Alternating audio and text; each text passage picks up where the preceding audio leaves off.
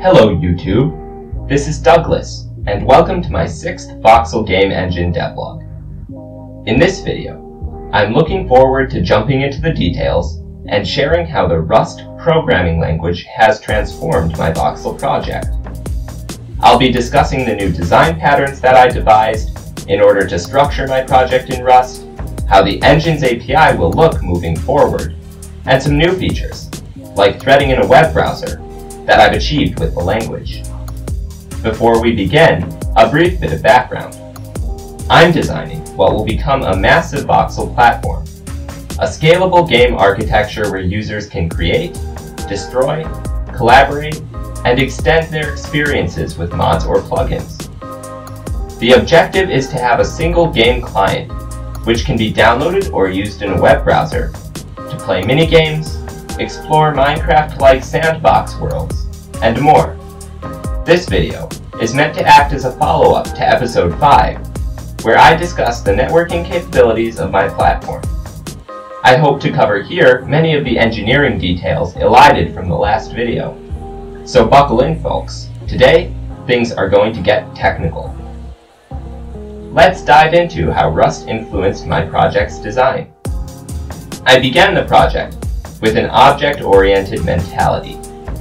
I intended to somewhat duplicate the system that the Unity engine uses, where game objects are made up of one or more component classes, which inherit from a common base type.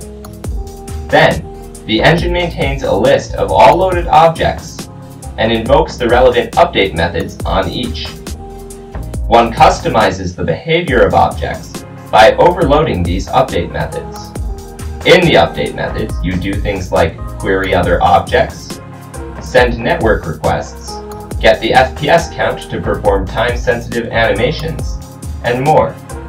In my earliest days of writing Rust, I began trying to set up this sort of system, and quickly hit a wall. You see, the code design, which I had in mind, is almost impossible, or, at least, very cumbersome, to accomplish in Rust you can sort of visualize standard object-oriented code as a big interdependent graph with different objects that rely on one another.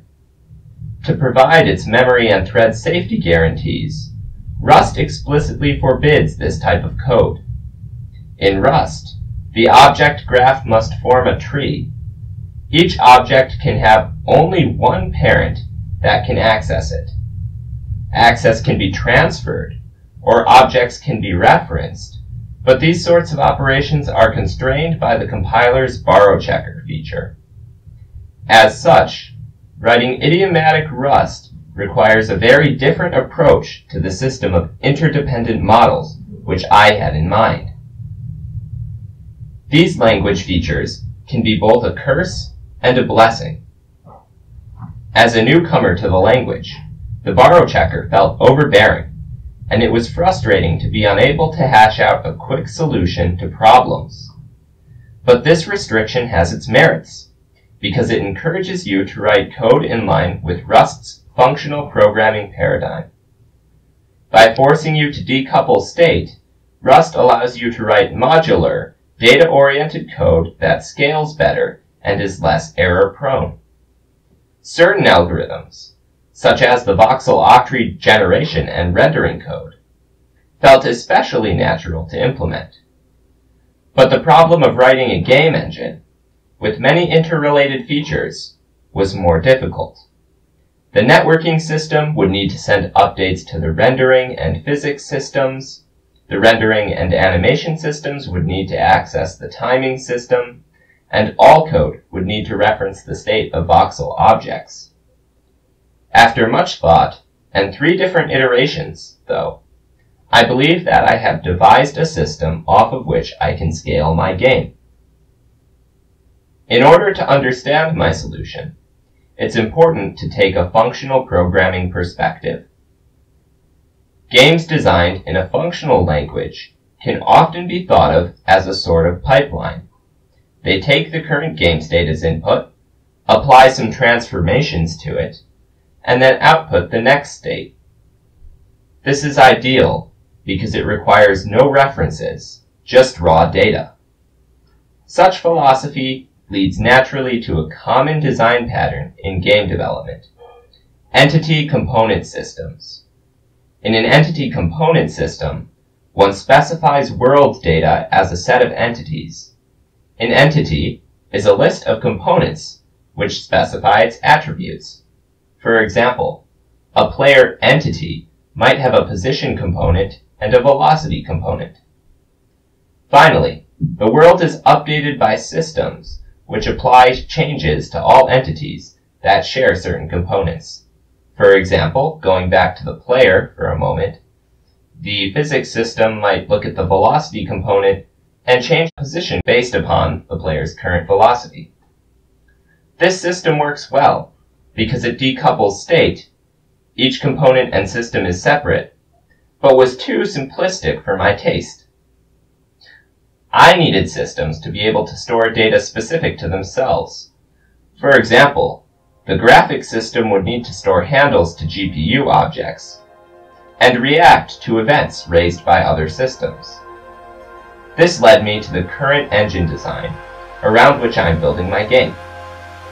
I have a hybrid event system and entity component system, which allows for decoupled state and reactive code. Here's roughly how it works. I have a world state, which contains entities and components. The world state also has some shared resources, like the system time, that all code can use. The world is acted upon by systems, which can maintain their own internal state for storing things like GPU handles. In turn, each system is a collection of event handlers, which respond to certain events, like the beginning of a frame, and can issue others.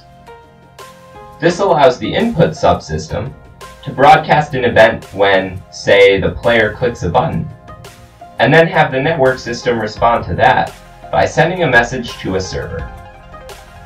The event system was implemented using Rust generics, so all I need to do when defining new events is create a function and register it as an event handler. The system works very well and makes it very easy to prototype new concepts. Most importantly, the event system is open source and available to view on my GitHub. See the description for more information. In addition, I solved a number of other interesting Rust problems in order to achieve full voxel multiplayer. One thing I had to do was port my C-sharp code for sparse voxel octree modification to Rust. An explanation for the algorithm can be found in episode 3, but in short, it starts by checking whether large chunks of voxels are of the same material. If so, it writes the block into the data structure, otherwise, it starts considering smaller chunks of voxels. This algorithm for octree generation is actually a very similar procedure no matter the type of generation involved. Converting an array to an octree, merging two octrees together, or doing world generation. As such, I sought to abstract as much of the logic as I could by writing a set of functions common to all octree generators. I eventually defined an octree builder trait that describes an operation to create a voxel octree, like merging two other octrees together, which can easily be extended to create new algorithms, like terrain generation. All that's needed is a way to specify which regions of voxels all share the same material. This is a wonderful example of Rust's zero-cost abstractions. The octree builder trait hooks into the common octree generation code by means of a generic type, something that the Rust compiler rewrites at compile time. This means that my octree builders are as fast as if I performed no abstraction at all, and wrote each special function from scratch. This is in contrast to object-oriented languages. If octree builder were an inherited type, then the calls to the octree builder methods would be virtual, requiring extra steps at runtime to invoke a very performance-critical section of code. Thanks, Rust. Last, but not least, I want to address an interesting point about multi-threading on the web. For my project, being able to run code in parallel is a must. At the very least, I need both a client thread for performing graphics tasks and a server thread for performing game logic. To accomplish this natively was simple. I just spawn an OS thread for both server and client. In the case of the web, though, I was required to utilize a feature called Web Workers for the same functionality, since browsers won't allow you to spawn native threads. Web workers are typically isolated from the rest of one's code, only able to send simple messages back and forth. However, it's actually possible to share WASM modules, that is WebAssembly modules, between threads using something called a shared array buffer. With the help of shared array buffer and a Rust crate called WASM thread, I was able to get fully functioning threads working on the web. Thank you very much for watching my Voxel Engine devlog. I hope that this video provides some additional insight into the Voxel Engine design. In the next episode, I intend to implement a large-scale voxel world and an optimized voxel rendering pipeline. The video should be a return to more high-level development content. If you want to see that video, then please do leave a like and subscribe. Additionally, if you have any questions for me, leave them in the comment section below. With that, and until next time, have a lovely day.